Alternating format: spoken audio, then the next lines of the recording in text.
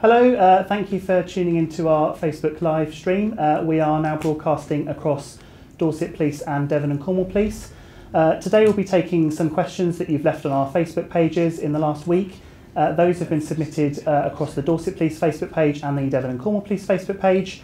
Uh, those predominantly around cycling, and what we're here to do today is to sort of look at some of those um, comments and some of those myths that have been um, commented on our pages and try and dispel some of those. We've got a panel of four experts that have joined us for the live stream, and I'd now like to introduce them to you, and starting from the left. Hi, I'm Lisa Dorn, and I'm Associate Professor of Driver Behaviour at Cranfield University. Good evening, I'm Felix Young. I'm the Regional Events Officer for the south of uh, England, which is British Cycling. Good evening, I'm Inspector Joe Pardy from Dorset Police. I'm the Alliance Road Police Inspector so I'm in charge of dealing with uh, road offences and also investigating serious and fatal road traffic collisions. Good evening, my name is James Richards. I'm a driving instructor, an approved driving instructor, and deliver the driver awareness courses for Dorset Police. Lovely, thank you all for joining us. Um, so, as I said, we've got uh, several questions. Um, thank you to everyone who's joining us on the feed. I can see we've got around about 500 people watching us live as we speak at the moment, so it's really great to have you all with us. So the first question we've got um, is from Chris Guy. He left his comment on the Dorset Police Facebook page and he said, why can motorists get done for being less than 1.5 metres, uh, less than 1.5 metres away from the cycling off person when overtaking, yet for, it's okay for cyclists to fly down the inside and only leave a six inch gap between them and the car? Is it because it's easier to get money out of the motorists? Joe, do you want to have a view on that? Yeah, so I think it's all about trying to protect our road users. Uh, we talk about the 1.5 metres. This is guidance to try and give people an idea of how much space to leave either a cyclist, horse rider, whatever it might be, a parked car. What we want to try and do is to give people enough space so if a cyclist changes their course or direction, at least it gives that opportunity not to be involved in a collision, which is what we're trying to do. Um, so um, in terms of the 1.5 metres, you know, the, it's not 1.5 metres and that's it. This is around 1.5 metres being a guidance, depends what sort of road you're on, what sort of environment you're in. We're talking about giving people enough space to be safe. Um, so that's what uh, the first part of the question. Second part of the question in terms of cyclists going down the inside uh, of a tr- stream of traffic.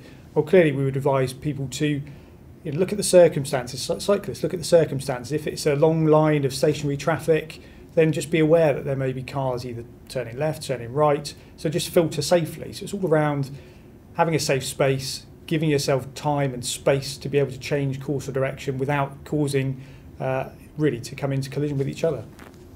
Brilliant. Um, thanks very much. Um, and if you're joining us, um, do feel free to leave some comments uh, in the comments below, and we'll aim to look at some of those comments later on in the uh, in the stream. Uh, Dan has asked, uh, why can't we have the 1.5 metre for a reason signs like in other counties? Uh, car drivers in other areas do not give enough space to cyclists, and then when we do, when you do show frustrations to them at traffic lights, uh, they're completely oblivious that the law exists. Lisa, what's your view on that? Well, just because there are a lot of signs doesn't mean that people are actually going to attend to them. So more signs doesn't necessarily mean that people will drive safer or ride safer um, actually making sure that people think sensibly about what they're doing is a far better strategy to educate road users rather than just put up the signs and expect them to look at them. Lovely. And um, a question coming in uh, from David in Devon and Cornwall. Uh, he's uh, submitted a question directly for yourself. Um, I read a paper that not wearing a helmet led to drivers uh, giving passing space of six inches greater than uh, cyclists wearing one. Are there better behaviours or clothing I could wear that would encourage safer behaviours from drivers? So it's really a good idea to wear reflective clothing because you need to make sure that people can see you. And so increasing your conspicuity is, is critical to making sure that people are aware that you're there. Um, now, the problem is that when it comes to the majority of road users, that of course are vehicles, they often overlook the cyclist, they often overlook these vulnerable road users. And so making sure that you are you can be seen is, is really important for safety. And, and Felix, um, from the British cycling point of view, what's your what's your take on that? So I think being, taking responsibility for your, your safety on the road is, is a very important thing, and, and there are ways to be seen that will help keep you safe. But I think it's also very important that um, we're trying to normalise cycling and, and, and in countries where they do start to enforce rules about having to wear certain items of clothing and, and, and so on and helmets actually you end up without reducing the number of incidents because you're making it more difficult. You're putting up barriers to people taking to the streets and, and, and riding their bikes. And so actually the people on bikes are normal people and the, the Dutch model very few people wear a helmet and they have a lot of people that feel safe cycling on the road. So there's a, there's a balance between the two of, of taking measures to make sure that you're safe and, and, and can be seen, but also we have to be very careful not to put up barriers to people taking part in cycling and seeing it as a non-normal activity. Of course, um, and just sort of leading on from that, um, David um, has asked how are drivers how, how do drivers measure the gap? Uh, how do the police measure the gap at the same time uh, when they prosecute the motorist? What, is the cyclist, what if the cyclist meanders uh, where you are going alongside? What's your view on that? So that's almost exactly the point of the 1.5 metre guidance is that a cyclist is a vulnerable road user and it's included in the highway code and, and in driving instructors when, when they're delivering lessons is that you have to be anticipating that there might be something that will cause a cyclist to wobble or swerve, and that is exactly why the guidance is in place to to suggest that you need to make sure you're leaving extra uh, space and making taking extra care when you're overtaking a cyclist because a cyclist will normally do everything they can to avoid swerving and wobbling, but there are often factors such as potholes, gusts of winds, and so on that might cause them to do so. Brilliant. And uh, moving on to cycle lanes, it's another key kind of topic that people have been discussing with us. Uh, can dog walkers keep dogs on leads when on designated cycle paths and when dark ensures have dogs have lights on? Um, sooner or later, there is going to be serious incident here. The vast majority of dog owners, common sense prevails, but as usual, it's the majority and the minority, sorry, that presents a danger. That came from Andre Clark. Um, James, what's your view on that? Um, dogs should be on leads anyway. Um, the Highway Code clearly states that dogs should be on leads. Um, and I think it just makes common sense. It's what we sort of spoke about earlier on about being seen. Having a, a light on a dog um, so cyclists can see it just makes common sense. And um, moving on from that, Mikey Ash, uh, he's come in to say uh, cyclists using the road when a cycle path is available, slowing down the whole flow of traffic and causing big traffic jams. Should it be illegal and punishable? Felix, I'm sure you've got a view from British Cycling on that one. So s- cyclists are road users the same way as anyone in any other form of vehicle, and I think what's a really relevant point around this question is that there, cycling is quite a broad uh, thing. We're referring to in this conversation everything from someone that's using cycling as a utility to, to get to work or to school or, or to the shops, all the way through to someone that might be competing in a sport or, using it as a leisure activity. And I think the previous question about dogs and having to adjust the way that you're cycling on a shared path brings it back to this point around adjusting your riding. And it wouldn't be safe for a cyclist that would be travelling at high speeds above 20 miles an hour to, to, to use a shared path where there might be dogs or other pedestrians and so on. And so um, the, the highway code sees cyclists in the same way as it sees another vehicle user on the road, and whereas cycling lanes are there to provide for cyclists should they need them, there isn't an obligation for cyclists to have to use those. Okay. Um, Ian May has been in touch. Uh, he's a cyclist himself. He says this is a serious question from a cyclist. Who designs the cycle paths in our cities and towns? If you take Topsham Road in Exeter, it starts on the left hand path, then it crosses to the right hand path, then into a bus lane, back onto a path, then across to the other side of the road. This is how to navigate just one road.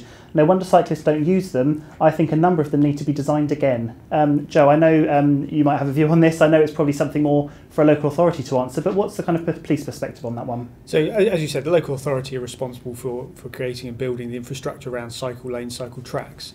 And what we have to remember is that the road network's been in place for a long, long time, and, and really cycle lanes, cycle tracks are things that come along in the last, you know, decade, two decades. So actually we're trying to build infrastructure on top of the existing road network.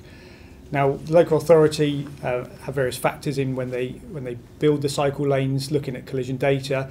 Ultimately, they're trying to make it the safest place for a cyclist to travel. Uh, so, whilst uh, somebody might think it's uh, inconvenient, the, the route that's being provided for them, actually, it's trying to make the best use of the infrastructure that's already there.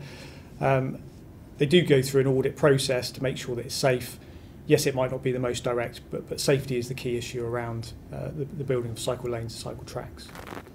Thank you. Um, so uh, we've had a question in on the Devon Cornwall page. Uh, why is it not compulsory for a cyclist to ride on a cycle path instead of the road when one is available? As this is usually signed with a blue sign with a, bi- a, a bike on it, when a blue sign means you must, according to the highway code, could still ride on the road. Cyclists could still ride on the road. James, you're the expert in, in it comes to the highway code uh, as a cycling instru- driving instructor. What's your view on that?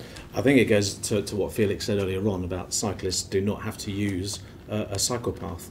Um, that the blue sign means this is a route for cycles. It doesn't actually mean that they have to use them.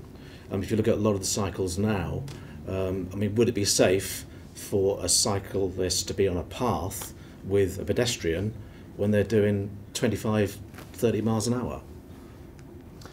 Um, so our next group of questions, we've looked at a few groups so far. Our next one is around bike equipment, so things like lights um, and that sort of thing. Um, Sherry Porter has asked on the Dorset Police Facebook page, uh, do cyclists have to have a bell? And please tell me what the side of the cycle path is for pedestrians to walk on. Felix, what's your view? Uh, so cyclists do not have to ride with a bell. Cycles have to be sold with a bell, but there is no obligation for riders to, to have that attached. I think obviously a padlet's a very useful tool for a cyclist to help communicate where they are and, and then they are approaching. Um, one thing that we often encourage, especially if you've got riders that choose not to have a bell on their bicycle, is to, to, to communicate. That, and I think we, we've spoken a bit about tolerance and, and sharing, sharing spaces, sharing the roads, sharing paths. And actually using your, your ability to communicate, so that might be your voice, even if you haven't got a bell, is a really important thing, especially in, in the situation where you've got a shared path. Um, on the second part of the question around, uh, sorry, can you remind me the second part? Of the question? So um, when it, when it comes to which side of the path should Which side of the pedestrians? path? So this is probably around shared space. Yeah, so shared space, and, and again, it, some shared spaces have a specific. Uh, the signage will indicate that there will be one side of the path for pedestrians, one side of the path for cycles, and but quite a lot of time there's a sign that will indicate the whole path is shared, and and that's almost specifically trying to make the point that this is a shared path, and you need to adjust the way you're riding and using it, be that as a pedestrian or a cyclist, accordingly. Um, so whereas in busy paths you might end up with a flow of, of pedestrian and cycle traffic on the left hand side going both directions. Um, in a shared space, you have to be ready to share that space with whoever might be in that space. Brilliant, thank you. Um, so uh, Thomas Morse uh, has asked. Uh, he was on his way back to uh, to work this morning. Uh, he has a gripe with the number of cyclists wearing dark clothing. Um, with no lights on their bikes, um, why is there no drive to tackle this behaviour? Lisa, from a behaviour change psychologist point of view, what's your, your view on that one? Well, um, the uh, police perspective would be that um, there's, there's, there's a, a, an issue around making sure that people can be seen, um, but uh, y- y- there's no compulsion. Um, getting people to change their behaviour is, is clearly something that is desirable here, and um, within the uh, Alliance, there's a lot of emphasis on driver education, where behaviour change techniques are being used to try and encourage and influence the way that people respond. And, and Joe, from a policing perspective, what's your view? So the, the law quite clearly states around what cyclists must have in terms of lighting. So they must have a front and a rear light, uh, and and that can be flashing if it's uh, if that would help make them conspicuous. So there is clear legislation that talks around lighting. In terms of clothing, there is no legislation, but as we talked around earlier, it's about making yourself be seen. Uh, so clearly, from an investigation point of view, when I have to deal with with worst case scenario, you know, we we ask the question: Would this person be able to be seen? So lights are. You know, makes sense to have lights. Reflectors makes sense to have reflectors, and where possible, wear light clothing because the better that you can be seen, the less likely you're going to come into conflict with other vehicles, and you're going to be more conspicuous. So, the law is quite clear around uh, lighting. Clothing is is a more difficult uh, conversation to have, but clearly, the lighter the clothing, the better you are to be seen. And uh, Anne Marie has uh, asked the question uh, why are bikes not sold with front and back lights and a bell? I'm from Germany, and bikes were already fitted when they bought them from the, the, the shops and retailers. Uh, James, what's your view on that from, from an instructor's point of view? Uh, my understanding is that um, bikes should be sold with a bell and also reflectors on that on that cycle. However, it's not part of the law to have a cycle on your bike when you're when you're using it on the road. Um, I, mean, I think common sense would, would prevail and say I've got a, a cycle bell, just just to maybe warn a horse that you're coming up behind a horse or something like that, just to ring a bell, and it's showing that respect for other road users on our roads, isn't it? Thank you. Um, Steve Groom has asked, uh, what's the score with the mega bright flashing lights being used by some cyclists? They blind motorists and almost cause an accident, often used by Deliveroo cyclists, Deliveroo riders, and many other uh, branded uh, cycling riders as well. Um, Felix, what's your, your view on that? I think it's, it is an interesting contradiction that cyclists face is that we have simultaneous almost questions of how, how we're not visible enough and it's too dark, and yet also we're too bright and too easily seen. Of seen. course. Um, I think uh, so. I commute by, by bike and I live in, in two towns that have country roads between the two of them and so I need a light that's bright enough for me to be able to see where I'm going the same way as a car with headlights would, just particularly during the winter. Um, so I have a bright light for that reason. Um, however, it's one that doesn't flash because of, of the issues highlighted in the question, um, but is more of a constant beam or kind of a pulsing one. Um, I think that the reason for the kind of the bright flashing lights probably comes down to some of the stuff that Lisa's talking about. Is it's actually it's a fear thing, and I think as the technology has developed and, and bike lights can be brighter and in an affordable way, people have gone well. I want to make sure I'm seen. I'm going to light myself up like a Christmas tree, and uh, whilst that it probably is less helpful than it could be in, in, in terms of the question that's the approach people are going to the advice, which is to be seen. So uh, it, is a, a very difficult one, but it does come from fear. And if people were in a position where they weren't as scared on the roads effectively, you might not have a position if that they wouldn't need feel the need to take those measures. Brilliant, thank you. Um, Anthony, I think this is a question coming in your direction, Lisa. Uh, Anthony has asked, uh, don't you think it should be law to wear helmets for cyclists as more and more accidents are happening and high visibility clothing should be worn? Yeah, and it's something that we've already mentioned, and uh, clearly, you know, in in certain types of incidents, having a helmet on is going to protect you. So uh, it's useful uh, to make sure that you are protected. In other circumstances, a helmet may not be something that is uh, something you would like to do. I mean, Felix will probably talk about that as well. Um, but certainly, you know, I would encourage um, people to be wearing helmets because in, in, in many incidents, especially more serious ones, it will protect the most important part of your anatomy, which is, you know, the way that uh, the brain is, is, is, is organised. You, you really don't want to be hitting the ground too hard. But having said that, um, there isn't really going to be any protection. And so, you know, in a serious incident where you're impacted at speed and, um, and, and actually um, there isn't really much we can do apart from improve driver behaviour and make sure that cyclists are less vulnerable. And as Lisa mentioned there, Felix, you've probably got a view on helmets. What's your, Yeah, what's so your British I've, cycling? I've got through far too many bike helmets to not wear a helmet. Uh, I've cracked many a helmet rather than my skull, fortunately. Uh, and so the, I, when I'm riding my bike for leisure, if I'm riding fast, riding out on, on country roads, I'd never choose not to wear a helmet. Um, however, there are situations where actually, if you were mandating helmets, you would actually make cycling less safe, which might be in a setting where you've got people making short trips. And, and, and again, it's, it's about not creating barriers to people taking cycling as an active travel option um, and not creating this false illusion of security around if someone's wearing a helmet, I can be that little bit more reckless. And so that's, I think, where this, this question about seeing cycling for the kind of the broad range of activities that can be under that umbrella is, is really important and, and adjusting the way that we're expecting people to behave, but also adjusting the way we treat them on the roads and how we share those space with them accordingly. Brilliant, thank you. So, um, just so you know, if you're just joining us, um, you're watching a live stream from Dorset Police and Devon and Cornwall Police. Um, we advertised this around a week ago on our Facebook pages and invited our followers to submit questions to us um, to put to our panel who join us today. Uh, we've got several of those questions. We had over 600 comments. Clearly, we can't go through all of them, and some of them uh, were a bit duplicated. So, we've tried to sort of bring in all the different types of questions that are brought. But if your question's not been answered, we have aimed to cover every thematic area that's been asked of us in the questions. Um, so if we go back to the panel again, if, I don't know if you want to introduce yourselves again for anyone who's just joined us, um, starting from the left. Uh, Lisa Dorn, uh, Associate Professor of Driver Behaviour at Cranfield University. Uh, Felix Young, the Regional Events Officer for the South for British Cycling. I'm Inspector Joe Pardy from Dorset Road Policing Team. I'm the uh, an Alliance Road Police Inspector and I deal with uh, enforcement education, road policing and also dealing with fatal and serious road traffic collision investigation. Uh, James Richards, an approved driving instructor, and I deliver the courses for Dorset Police for the driver awareness courses and get involved in other road safety projects.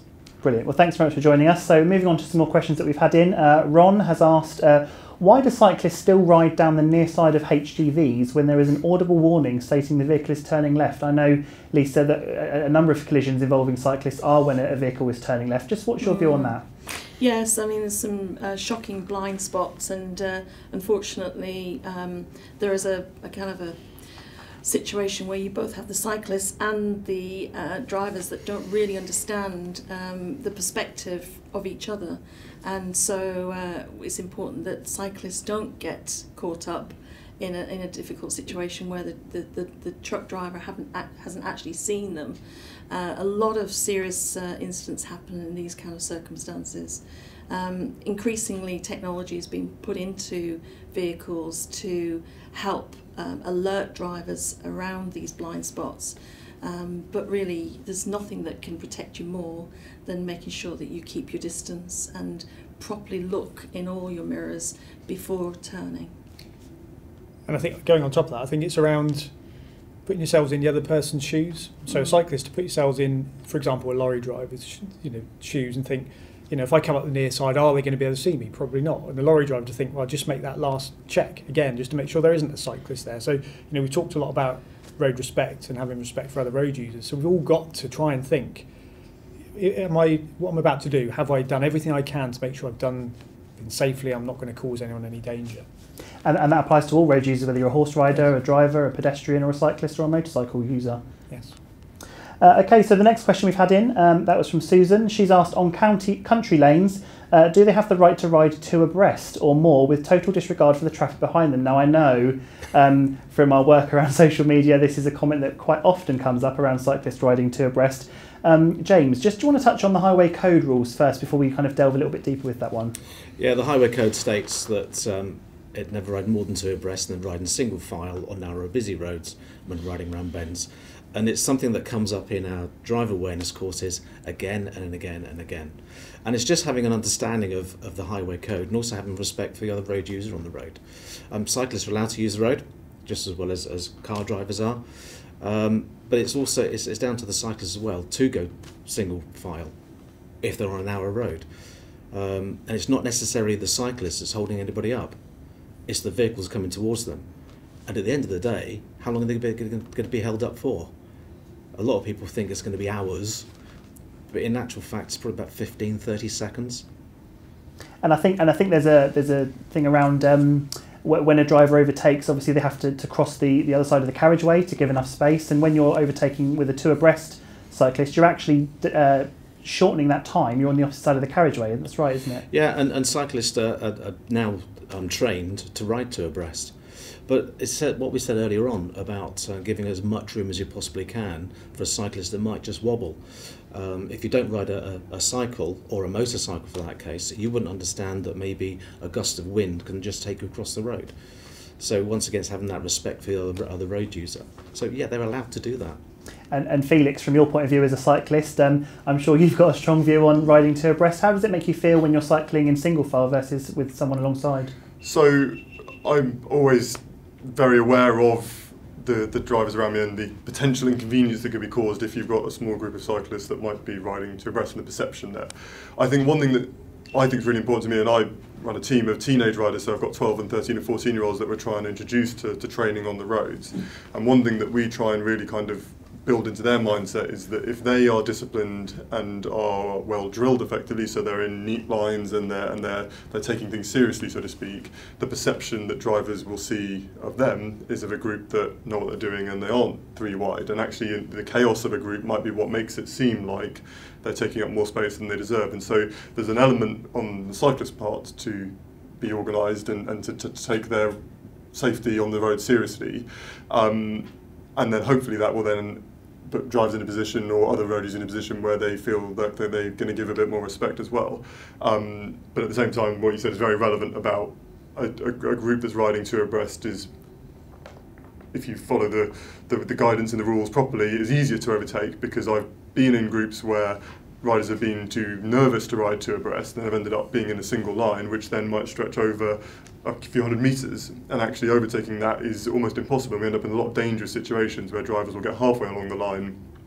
Suddenly, the, the, the overtake is no longer safe, and then they're, and they're interacting with the middle of the group of cyclists. And so, actually, part of it comes down to the skill of the riders and trying to kind of make sure that, that their responsibility is taken seriously, but obviously that also then comes across the other way and, and understanding the, the, the rights that the cyclists have on the road so that you're not intimidating them or, or doing something that would not be tolerant and, and not be sharing the road with them. Brilliant, thank you. Um, the other question that we often get asked um, uh, is coming through the Dorset Police Facebook page. Uh, why do, do police do nothing when cyclists cross roundabouts and then go through a red light in front of police cars? Um, Joe, um, I know many people watching this may have, have seen potentially uh, a cyclist go through a red light. Um, it's often stuff that we get fed back on our social media accounts that they, people quite regularly see. Um, what, what, what's the police's view on that? Okay, I can't comment on the individual cases of what has and hasn't been done, but cyclists are, bound by legislation of, of lights and signs as other road users are. So, uh, you know, if cyclists do choose to go through red, red light or not comply with a traffic sign, they, they're guilty of an offence uh, and they, they can be fined £50, fixed penalty, and if they were to go to court, it could be um, thousands of pounds. So, um, so that they do break the law. Why the police don't take action on those specific examples, I can't, I can't uh, comment, but I'd expect if people do witness that, then they should be dealt with. Um, a question that's come in on our No Excuse page. Our No Excuse team is a team of officers dedicated for proactive road safety enforcement, and that's across both Dorset and Devon and Cornwall. Um, they're, they're, they go out and do proactive operations such as Operation Close Pass, which you'll hear about shortly. Um, Amanda has come in and asked, uh, how does the team deal with cyclists and other road users such as skateboarders, people using mobility scooters who go the wrong way down a one-way street? Joe. Okay, so uh, again, cyclists are bound by the law. Skateboarders, um, mobility scooters, uh, depending on the size, it's a, it's a really in-depth piece of legislation around mobility scooters. So, so some aren't bound by legislation. Cyclists and vehicles are. Um, it's an interesting point. If there's issues in your local community, then I can only suggest that you, you make us aware so that we can we can go and tackle those where, where needs be. So it's a difficult question, really, because some are bound by legislation, some aren't. Um, so that does tie hands somewhat, but um, but it, but it goes back to the argument about mutual respect for all road users, doesn't yes. it? Um, so we've had a question about uh, are cyclists allowed to ride on a clear way? Uh, for example, dual carriageways that are clear ways with vehicles travelling at 70 miles an hour. Uh, why doesn't the law uh, do something about cyclists riding with no hands on handlebars uh, when on public highways using uh, guys in sports lycra? And why is it acceptable to ride a bike with both ears containing earphones? Uh, one should be sufficient listening to music. In a car, you can have music on, but you still have your ears unobstructed to listen to surrounding noise before anyone mentions car radios. Uh, that's come in from Sterl Benson. Um, Joe, what's the, the legislation point around that? Okay, it's quite a long question. So the first part around the roads that are being used. Uh, so dual carriageways, uh, clearways, uh, national speed limit. You know, as we discussed before, cycles are allowed to use roads as anyone else is. Uh, there are restrictions on motorways, and some roads may have prohibitions of cycling, uh, which would be indicated by a, a white sign with a red uh, red outline with a cycle in the middle, which would prohibit cyclists. So, if a cyclist chooses to use a fast road, then then they're entitled to do that. Clearly, you know, again, we talk around being seen, conspicuous. You, know, you have to take more care, but then so do the the car drivers, the lorry drivers have to then be aware that cyclists may be on those roads. So, so in terms of that first question, there is no prohibition other than on certain roads. Uh, the second part, in terms of having earphones in, of course, whether you're a cyclist, a pedestrian, a horse rider, a car driver, lorry driver, whoever you are using the roads, then you need to be aware of your surroundings. So if you've got earphones in that are cancelling out the noise that's outside of your environment, then you're going to put yourself at risk because you can't hear what's going on. And, and, of course, your senses, I'm sure Lisa would, would agree, your, your senses are narrowing. So actually, you're taking away hearing, which is a massive thing if you're certainly on a cycle, on a horse, or even in a car. Hear sirens coming, for example. So, of course, we wouldn't advise people to have earphones in because you want to be aware of your surroundings. Uh, and you're to have to remind me the last part of the question. I think I think you pretty much covered it. I think uh, it was it was the point around you know cycling on a clear way and and the uh, music and um, handlebars and, handle, and, no handle hands. So again, um, there's no specific offence of riding without your hands on the handlebars, but clearly you probably commit careless cycling because you're not in proper control of your cycle. The same as if you're driving your car. I wouldn't expect to see someone driving down the road without their hands on the steering wheel because you're not in control of, of your vehicle, your cycle. Um, and you need to be because you don't know what's going to happen next. So uh, there are offensive careless cycling or dangerous cycling, the same as there is in the car driving world. So, you know, if you actually think about the question rather than direct it towards a cyclist, if you think of any road user, um, you could incorporate any of those subjects in that question to any road user. You need to be concentrating, not being distracted, and you need to be in control of whatever it is you are using on the road.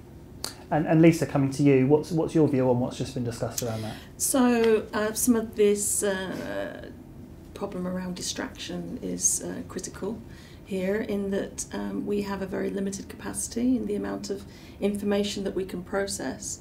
And so, any time that our attention is diverted towards something like music or um, perhaps lights, flashing lights, or uh, something that other people are doing around you, your attention is diverted towards processing information around that.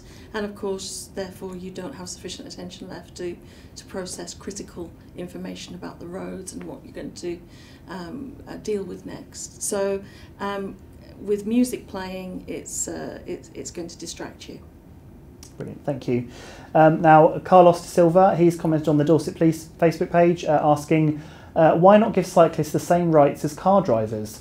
I mean, making them get insurance, be visible at night, pay road tax as they get cycle lanes built for them. Now, uh, the subject of tax and its use on the roads, particularly around cycling, is, a, is a, another hot topic. It's probably the third kind of biggest thing that we, we get comments around on our social media accounts as well. Um, James, just what's, what's your views around that? Um, first of all, it's not a road tax.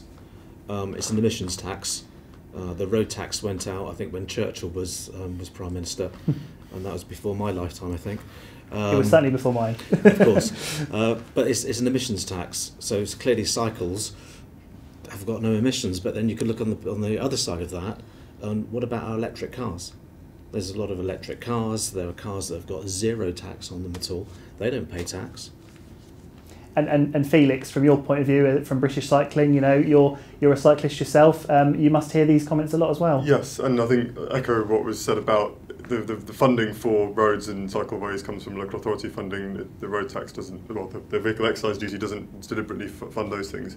From an insurance point of view, so I was hit by a car and taken away in an ambulance in 2017, and I benefited massively from the insurance that I have as a member of British Cycling. And uh, me and my wife have agreed that I will be a lifetime member from now on because it gives that element of security the same way as the obligation that drivers have to be insured so that there's that security around their activities on what is ultimately quite a dangerous part of our lives lifetimes now. Like if you consider the activities we take part in most of the danger is now often when we're, we're travelling on, on the roads and that's just because there's a lot of people and we have to share that space. And again it comes back to um, responsibility and, and British cycling as a member, I have legal support and I'm, I'm insured when I'm on the roads. And I drive a car as well. I spend more time driving now that I work for British Cycling than riding a bike, and so I have insurance in the same way as a, as a, as a normal uh, as, a, as a car user of the road would do. Just on that point you raised there about how, being a driver as well, that's that's something else that we quite often get a lot of feedback around um, on our social media channels. Um, you know, when we get discussions between sort of predominant motorists and predominant cyclists, it's that point around that cyclists mo- more often than not are also motorists too. Yeah, and like I said, alas, I am now mainly a motorist rather than a cyclist. My poor, my bike's in my in my garage on a static tra- trainer because I drive for work. So I, yeah, I, I, I it, we've we've talked a lot about people present it as a, as a pitched war between cyclists versus drivers almost, and, and sometimes the media can inflame that a little bit. And I think part of what's really important for everyone to understand is that we are all people going about our business that might be working related, that might be leisure related, and, and, and motorists and cyclists are doing the same things on the road and ultimately often are the same people as well. And I think it's interesting to point out that people who have um, uh, different experiences as road users, as cyclists, motorcyclists, car drivers, um, they're able to appreciate much more um, the perspective of uh, those different road users and I think you know it would encourage people to actually you know cycle more so that they can understand how difficult it is to actually um, be safe um, when when when other vehicle users don't consider their perspective. Brilliant. Um, Wendy Lawson has been in touch to say uh, I recently reported a driver who overtook me while signalling right and about to turn at a junction uh, with clear video evidence. I was told this was not an offence. Can you explain why? Also, what is the website for reporting close passes and uploading video? When is the Operation Close Pass running in North Dorset? Joe, do you want to touch on that one for us? Okay, so a couple of issues there. So, Op Snap to start with around dashcam submissions from members of the public. So, Operation Snap has been uh, been brought in to try and enable us to really for members of the public to help us prosecute more people and make the road safer. Uh, so by encouraging members of the public to send us footage of dash cam of potential offences, um, we can then uh, educate, we can enforce. Um, and we're not saying we're going to pass our job over to the members of the public. It's about saying, well, you know, we've got finite resources. How can we get members of the public to help us? So that's the whole purpose of Operation Snap. And, and actually, it's around trying to influence driver behaviour so that people think before they act. So not only now do the drivers have to think, is there a police car behind me? Is, there, is it marked? Is it unmarked? Is there CCTV? They have to consider before I do this overtake, before I take this no right turn, before I fail to give way, there's the car behind me, the car in front of me, the car that's on the road got a dash cam. And, and actually, so what we're trying to achieve is that that road users think before they act because they could get caught in any number of ways. Um, in terms of specific cases, so when people submit uh, evidence via Operation Snap, it goes through a process of an evidential review. Uh, and it has to meet a certain threshold in order for us to take any further action. So I can't comment on that specific case, but if the evidential threshold isn't met, then we won't take any further action. Uh, and it, so that's kind of covers that aspect of it. Uh, and the second part was in terms of Operation Close Pass. So, so that's been running now for, for quite some time. Uh, it's around, again, trying to educate road users to, to give people that space, the appropriate space they need. Uh, so in terms of when is it going to run again, we're, we're conducting operation in late April this year. Uh, and in terms of, of that operation, there's been over 27 uh, events conducted with 15 operations, of which uh, we've educated 30 people in terms of close pass. So it's a really good initiative where we're trying to educate people just to give the appropriate amount of space to our vulnerable road users. And, and that approach is happening both in Dorset and Devon and Cornwall. Yes, it is. It's across all three counties. And it's something that's been taken up in, in lots of other forces as well. So it's about trying to focus on, on everybody, but you know, our vulnerable road users are at significant risk. Um, now, Operation Snap is something I think we're going to come back to a bit later on because we've got another question around that. But um, uh, looking at bike testing and courses, Christina Davies has asked Many years ago, we were forbidden to take bicycles or scooters to school unless we had passed the practical and highway code theory cycling proficiency te- test. Uh, is this or something similar still available in schools, Felix? Uh, yes. So before I worked for British Cycling, I actually delivered Bikeability, which is the what was cycling proficiency effectively. And so level one is a traffic-free uh, cycle skills course that uh, is for two hours, and that's aimed at uh, children uh, at the, at the age of eight. And then bikeability level two is where you get the introduction to cycling on quiet roads, which is often around the school environment. Um, and that is trying to teach children to ride independently whilst understanding the rules of the road and, and, and how to share the space with with the traffic, but also how to cycle confidently and how to how to, to uh, make themselves safe on the road. And we discuss things like we mentioned about being seen. All the stuff we talked about tonight is stuff that's covered within that bikeability level two course. And I know that a lot of um, schools uh, where I'm based up in Bath and North East Somerset, um, the delivery is almost every school has some level of bikeability offer, um, and I believe that lots of there are some schools in, in this part of the country as well that they are obli- obliging children to have completed the bikeability course before they start cycling to school. Um, in terms of building riders' confidence beyond uh, bike level two, which is a school-based uh, level, there's also a level three course which uh, some local authorities or hopefully uh, some other private deliveries can offer, which is focused towards secondary school-age children and adult riders, and, and taking them beyond a quiet road environment and the very basic principles of safe riding, and trying to introduce them to how to manage much more busy, much more kind of potentially dangerous situations. And so there is a provision there, and it's it's varies on area to area how that is kind of managed and delivered, but local authorities or private contractors will, will be involved with that delivery. Um, now, we touched on um, Operation Close Pass, Inspector Pardy earlier. Um, Sharon Smith from Devon and Cornwall has asked, uh, could you not do one with how cyclists should pass a horse safely, uh, not come two abreast, flat out, uh, down the hill past them. Um, no att- she recently uh, that that recently happened to her, and no attempt was made to let her know they were coming or when they went past. Um, tell us about the plans and what's been happening around uh, close pass horse. Okay, so there's close pass cycle and there's close pass horse, uh, and it really goes along a similar trend. What we're trying to do is to make the road safer for everybody, uh, and of course, uh, horses. Uh, I'm not a horse rider myself, but having been to a couple of events, you know, I, there's things I've learned about horses that there's a, they've got severe blind spots directly behind them. So if a cyclist or a car comes airing up behind a horse, they can't see and of course, a, a horse will always have that kind of flight reaction where it's going to run, potentially throw its rider off and cause significant injury. So, how do we make people aware of these of these things? And we talked earlier around bells. If you haven't got a bell, then shout. So again, it's about having respect for the other road user. So this is specifically around how do cycles approach horses. So my answer would be to communicate. If you're coming up behind, slow down. The same with a car driver or another road user coming up behind a horse, um, or indeed you see a you know coming towards a horse. You know, slow down, take your time. Don't make loud noises. Don't make sudden movements because you know a horse, of course, is an animal, um, and it will react differently to how a human would react. So again, it's around the respect for the other people. Um, and in terms of our operation, close pass for horse, horse safe, we are again doing operations around that. It's a bit more difficult in terms of logistics of having a horse. So it's around trying to gain the respect and, and trying to educate people around that. And, uh, and we're looking at, at doing that in, in May. Brilliant, thank you.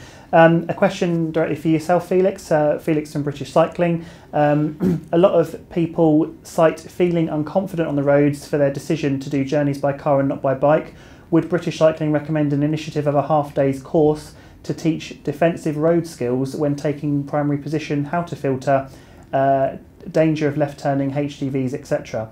It could be combined with a cycling proficiency test. What would be the British cycling view on that, Felix? So, British cycling have been uh, encouraged by Sport England uh, recently to, to try and lead cycling uh, within, the, within the whole country. And uh, for some time, cycling has become this disparate group with various different uh, people looking, or organisations looking after the different elements of cycling. Um, and so this question relates very closely to bikeability and well, I mentioned a few moments earlier about the bikeability level three and introducing adult and, and, and teenage riders into how to manage potentially dangerous and potentially complicated uh, traffic situations safely. Um, and that course is very often tailored to the individual rider um, and will be adjusted around their regular route so they can learn how to manage that route safely.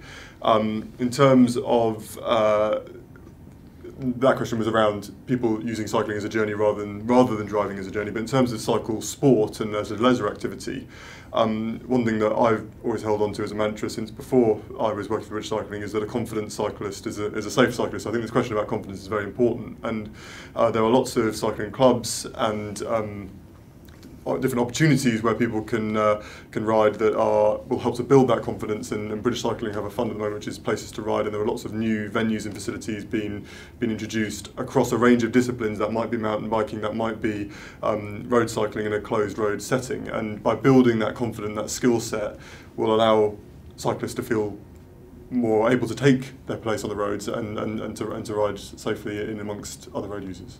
Brilliant, thank you. Um, so thanks very much uh, so far. If you've just joined us, uh, you're watching the Dorset Police and Devon and Cornwall Police live stream answering your road safety related questions around cycling in particular. Um, we're joined by a panel of experts um, who you can see in the comments uh, who those uh, individuals are. Uh, we're putting a series of questions to them that uh, have been submitted into our feeds over the last week. Um, the next kind of group of questions we've got around pedestrians and their relationship with cycling and road safety. Um, so Steve from Devon and Cornwall has asked, why is it that just cyclists need a safe distance? When I go running, I virtually get forced off the road. Lisa, what's your view? Well, um, unfortunately, a lot of behaviour on the road is habitual, and uh, people don't actually become consciously aware of what they're doing. Um, and this is one of the reasons why the Alliance and, and certainly Dorset Police um, are very keen to make sure that people are educated and understand um, the behaviours that actually create problems for other people. Um, Brilliant, thank you. Um, Mark's come in uh, on the No Excuse social media account saying uh, there is a persistent problem with aggressive antisocial cyclists illegally using the pavement across Tuckton Bridge into the Willow Drive, endangering the safety of pedestrians. Joe, uh, tell us how, how people can kind of report road safety issues in their community. Okay, so funny to, to, deal with the issue of cycling on the pavement, it's, it's unlawful, it's illegal to do so, and again, you could, you know, a cyclist could be subject to a fine. Uh, if there's specific issues in your in your neighbourhood, then I'd ask you either to contact us via uh, 101, that's across the three counties, or indeed you can contact your neighbourhood policing team, uh, and we can obviously consider that uh, in terms of other demands. So, if there's specific antisocial behaviour that needs to be dealt with, then we can uh, then we can deal with that.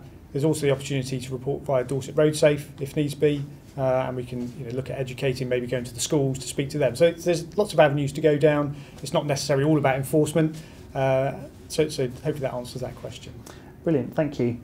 Um, so looking at the next one, uh, some cyclists, this is Brenda Roberts, has asked some cyclists think they have the right of way on the pavement and pedestrians should move out of the way.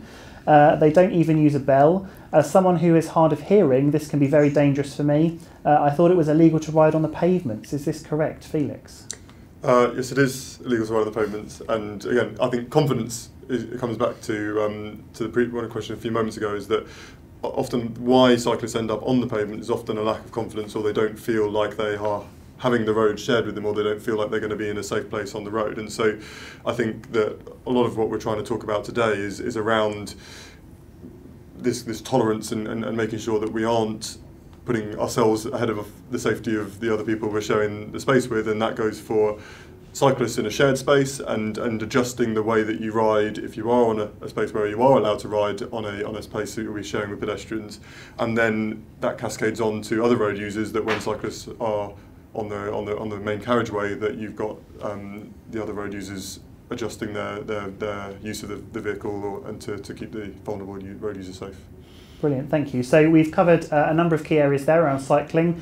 Um, from a variety of different uh, means and, and issues that are raised, particularly around social media and issues that affect both drivers, motorcyclists, riders, pedestrians, all manner of road users. So we've, we've kind of covered a lot of the road safety cycling themes there. So we're just going to open it up now to a few uh, wider elements. Uh, Stuart has asked, uh, I was involved in a collision with a BMW on the A30 last July while cycling from Bristol to Land's End. I was left with a very long and hard recovery, and the driver got a mere six points and a £347 fine for driving without care and attention.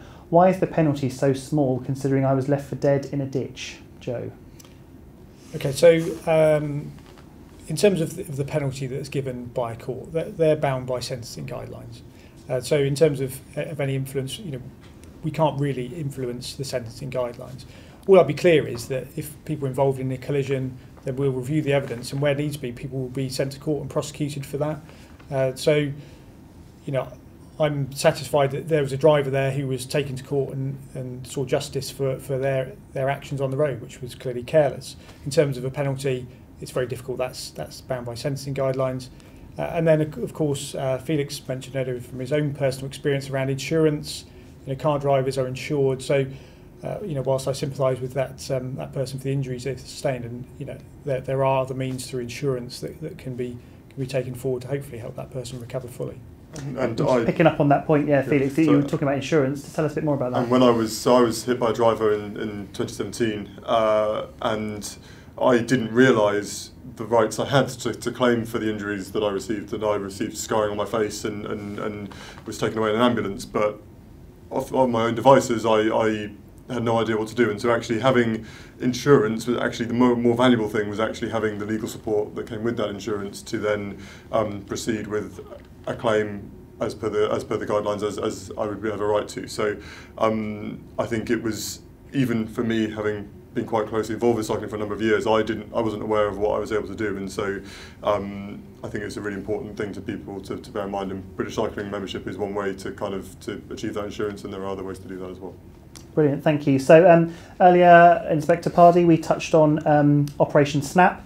Uh, John Richards uh, from the Exeter Cycling Campaign has asked, uh, I've had my faith, or he said, I've had my faith in Operation Snap restored uh, with a positive response to a submission. Hopefully, Inspector Pardy can provide us some statistics and tell us how many submissions have been made, actioned, and resulted in prosecutions since the initiative started. Joe, do you want to run us through some of the figures that we've got? Yeah, sure. So, again, OpSnap is a, is a really good way for us to, to capture uh, members of the public's dashcam because more and more people have got dashcam and the more and more we can use that, that evidence to, to make our roads safer is brilliant. So, so far, since Operation Snap came into force, which was around about July last year, we've had over 1,300 submissions uh, and around uh, between a, th- a, third and a quarter have, have resulted in a, in a positive outcome. Uh, and so that's across both forces? That's across all three counties, both forces. Uh, so it's a really positive step because those uh, my math isn't brilliant right here, but a third of that of that um, 1300, we would never have had those without Operation Snap. So actually, we've while people might say, well, that's not enough, uh, we've got strict evidential thresholds that we've got to meet. Um, but safe in the knowledge that those third have been educated or prosecuted um, for, for their driving standards. So I think it's absolutely brilliant. And you can report uh, and submit dashcam footage via both uh, Force websites, uh, both on Devon and Cornwall Police and Dorset Police. It will give you a link to the OpSnap portal. And, and just touching on that, you mentioned the outcomes there. We've had roughly a, a third of um, outcomes as a result of uh, dashcam submissions. Just run us through what those outcomes would be. What what could um, be the potential penalties if um, uh, someone submits some dashcam footage to us? So we've got a number of options available to us um, in terms of positive outcomes. Uh, there's education courses that people can go on, uh, and of course, you know, we, we try and get as many people into education as we can. Uh, if the driving standard is that poor, then they'll be prosecuted and go to court. And uh, depending on severity of, of the manner of driving, whether it's careless or dangerous, uh, it could result in a, in a small fine and points, or it could result in disqualification or even a prison sentence for the most severe cases. So there's a whole wide range of options available to us. And clearly, what, what we want to do is educate, but if it's that bad, people go to court, plain and simple.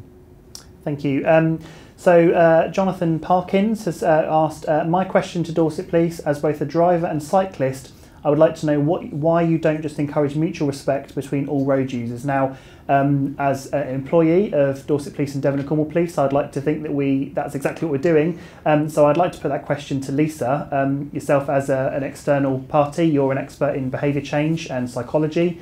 Um, Dr. Lisa Dorn, um, just tell us what your views are as an external partner about um, how we're working to sort of change behaviours and encourage mutual respect. Well, I, I think we've covered um, that actually um, Dorset Police and certainly uh, Devon and Cornwall too, doing a wide range of different interventions for all sorts of road users. Um, you know, we've heard about some of the work with uh, people who are passing too closely. We've heard about some of the driver diversion courses, and um, there are also uh, there's also work in schools working with, with with a whole range of different road users. It's not just about one isolated group that, that, that gets focused on and, and certainly working with the Dorset Police in particular as a, an independent researcher, um, it's clear to me that there's, a, there's, there's, there's, there's not just a focus on one particular group. Brilliant, thank you. Um, uh, Steve has asked, we often see your mobile safety vans throughout the area. When on dual carriageways, do they differentiate between various classes of vehicles that have different speed limits on the type of roads? Now, uh, James, uh, you deliver to the driver awareness scheme to many, many drivers, and quite a few of those may have been on the course as a result of their speed. Uh, I think the vast majority of the course attendees are a result of their speeding. Um, just run us through um, how the cameras work and how they can um, able to differentiate between different vehicle classes and speed limits. I think that what we need to look at, excuse me, is across the alliance, um, wherever we have detection, something's gone wrong. Um, or the, the community got such a concern that they've asked for um, the, the police to go down there and, and do some enforcement. Um, I, th- I think with with as far as, as vehicles concerned, yes, cameras can see vehicles a long, long way away. Very often on the course, um, we get told that we hide cameras. Um, they can't be hidden because they need to land on the vehicle to get the laser on the vehicle to judge what speed it's doing.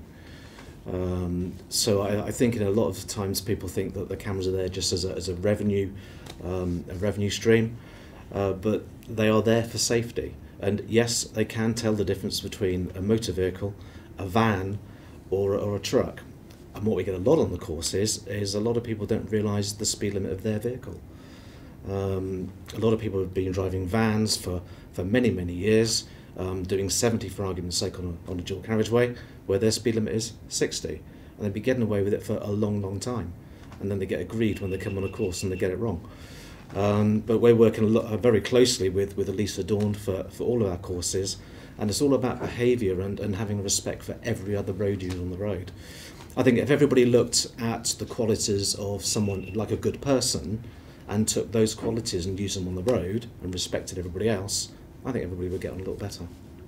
And, and just on that point of um, a 10%, sorry, 10 miles an hour lower for most um, speed categories, um, what's some of the, the feedback you get on the course? Because um, I know quite a few people who attend, they might have been driving a panel van that's been on hire, for example, moving house or that sort of thing, and they don't quite realise they're changing speed. Is that right? Um, first of all, they don't know they're going higher speed, but also it's quite confusing. Um, because the manufacturers have made it quite confusing by giving us many different types of vehicles. Uh, when the rule first came out, it was quite understandable that uh, a commercial vehicle was a commercial vehicle. but now there are lots of vehicles that can land in the commercial vehicle stage, and they can also be a, a car driver. Um, you get vehicles like your your, uh, your your pickups, and you've got the, the Volkswagen Caravelle and the, the and all those types of vehicles. Um, although they're different vehicles, they can be different speeds. Because it, Very pri- it, confusing. it's based on the weight, isn't it? It's based on the weight of the vehicle and also what it's used for. Uh, if it's registered as a commer commercial vehicle, it'll be 10 miles an hour less on a dual carriageway and um, a national speed limit road, which will clearly for cars is 60 and for vans and commercial vehicles it's 50. Brilliant, thank you. Um, so the final question we've taken from the uh, questions that were submitted in advance. Uh, Charlie Jackson uh, asked, "Is there anything that we can do if we catch someone on their phones while driving?" Um, I know Joe Pardy, Inspector Joe Pardy, touched on this earlier around dashcam um, and the submissions. It's a little bit challenging that around uh, use of mobile phones. Um, Charlie asked, "Can we use our dashcams or register the number plate and time that it was seen the offence?" What's your view? Okay, so in terms of uh, dash cam and mobile, phone offences, I talked around an evidential threshold. So, so the legislation talks around the use of a mobile phone. Um, so in terms of if we see uh, dash cam footage with somebody uh, using a phone, it's very, very difficult to actually uh, get the evidence to prove usage of the phone. So um, whilst it's very frustrating, I would still urge people to, to let us know so that we can uh, consider sending letters if, if needs be.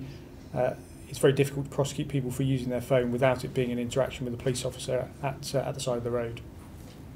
Brilliant, thank you. Um, if you're just joining us, um, this is the feed across Dorset Police and Devon and Cornwall Police looking at road safety questions that you've submitted to us in advance. We've been going for quite some time now. We've been um, answering your questions for almost an hour now, um, so we're nearly time to wrap this up. But what we want to do is just take a quick look at some of the comments that have been coming in on the feed itself that you've been uh, commenting, um, and just looking through these now. Let's have a look. Uh, Katrina um, Vernon, she asks, "I'm a mum of a one-year-old. What type of bike seat trailer is safe to use?" So there's a whole range of different uh, bikes available now. In fact, I think one of the amazing things is the the bike industry has really broadened the offer, and, and we aren't in a position where we're having to lash on child seats to conventional bicycles the whole time. Um, I think that it, it, de- it depends slightly on, on, on the specific rider you are and the specific circumstances. Um, you can buy tag along trailers behind, but obviously you you won't be able to, to see. And I, whenever I see those, that makes me a little bit un, uneasy seeing an extra extra kind of tag along behind. You can get some pretty amazing cargo bikes. In fact, there is a, a, a woman that cycles near near me, takes uh, three children to school, sitting in the front of this uh, this large kind of transporter bike. And uh, and I, I think if, if you were looking, if I was looking to transport a, a, a single or number of young children in the front of a bicycle, that would be the one I'd choose. So it's kind of a, a cargo bike is the way to if you were searching for it online. Brilliant, thank you. Um, Lindsay has been in touch to say, as a cyclist, it annoys me that the other cyclists have been seen to ignore red lights and not use the cycle pass. Not having a helmet, lights, or a bell. Um, it's interesting that we've got cyclists passing those comments as well. Felix, what, what have you got So there's a that? really interesting uh, case in where I grew up in London, which is there's Regent's Park. There's a there's a there's a route which was used a lot by sport cyclists around the perimeter of the park, and it, and it got to the point where the locals were referring to it as a velodrome. Um, and actually, what this was exactly one of the, the grievances that was raised, and, and, and the cyclists almost took it upon themselves and started to self-enforce in a way, um, and without wanting to, they they, they the, the leaders of the cycling groups really proactively um, to encourage those in their network to kind of to, to, to build a message of, of following the rules around red lights and, and understanding that the impact that a small minority of cyclists breaking the rules has on the vast majority that, that do follow follow uh, the rules of the road. And I think this is the same across all different road users. Is that there is a minority that uh, that flaunt the rules, which then makes it worse for the rest of the users. And I think this was a really interesting case where the, the, the, the rest of the cycling community proactively worked together to try and to crack this, where the minority became a very small minority that were almost so embarrassed to jump a red light when there were five or six other cyclists there obediently waiting. Brilliant, thank you. Uh, Jane Kerry has asked, any update on cycling along the beachfront in summer? Uh, Joe, uh, I know there's certain bylaws around um, cycling on the seafront. What's your what's what's your views on that one? Uh, I don't need to answer the question. Uh, but in terms, you know, again, it, it goes back down to, you know, we had discussions around cyclists and pedestrians. Um, you know, if, if they do make it uh, legal to ride a pedal cycle along a, a seafront, then you just got to be aware of your surroundings, the same as you know pedestrians need to keep an eye out as well. So it's just about that mutual respect, and I think so many of these these issues are about just having respect for other people. And I think if um, you know if, if we can all just respect each other, then the roads will be a safer and better place. Uh, Raymond uh, McLaren has uh, commented, why build cycle paths when cyclists would rather die than use them? Um, it's an interesting view. Um, it's something we've already touched on earlier in the video. Felix, as, as a cyclist, do you want to touch on that? So I think I think realistically, the cycle paths are, are, not built for a confident cyclist necessarily. They're built to facilitate making it easier for more people to choose an active travel uh, choice that will hopefully have a huge amount of impacts that might include uh, a better environmental impact, a better impact on the number of people using private vehicles and the traffic and, and so on that is associated with that. So um, the reason for cycle paths and the infrastructure that gets put in for cycling is to support those that currently aren't riding bikes to get on their bike because they may not have the confidence to use roads as per an, an any other road user. And, and I think in terms of the comment about, you know, the cyclists rather get killed, well, you know, we're all trying to work together to reduce the amount of people who are killed and seriously injured on our roads, no matter who you are. And, uh, and, and I really think we all have got a part to play in that. You know, as the police, we look to educate and enforce. Uh, partners, you know, we're looking at um, behavioural specialists to help us to try and get the message out there up snap to get people to help us. So, you know, we've all got a responsibility to road users to make sure people aren't killed and seriously injured. I see it too often. It's not acceptable. Uh, so we all need to work together, and uh, so no one goes out with the intention of either being killed or killing other people on the roads, and we need to change that. Uh, now, it's a subject that we touched on earlier around shared space. Um, Martin Owen has asked shared paths such as Exmouth Seafront should have a speed limit. Uh, cyclists, pedestrians, buggies, dog walkers, and runners, it's an absolute nightmare. Um, what, what's your views on, on speed limits around um, shared spaces in particular? So there's a I'm from a different part of the country, but there is a this this exact conversation around the the shared use path between Bristol and Bath, which is a very heavily used commuter route, um, and I think.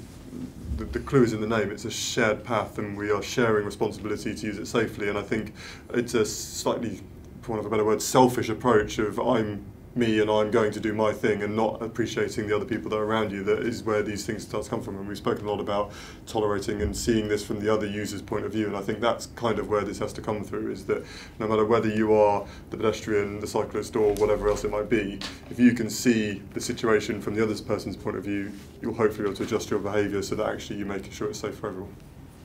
Brilliant, thank you. Um, I think we've reached the end of our feed now. Um, you've been watching the Dorset Police and Devon and Cornwall feed. We just wanted to sort of finish on a point that was raised um, by Louisa Rose Baker on the Devon and Cornwall page. Uh, she said she's saddened by the negative comments uh, for cyclists, but she's she says of a society where we have more in common than what divides us, and we believe we get somewhere and return safely home to our loved ones. Um, that's a really nice uh, point to finish on. Everyone's sharing the road space as a pedestrian, as a cyclist, as a horse rider, as a motorist.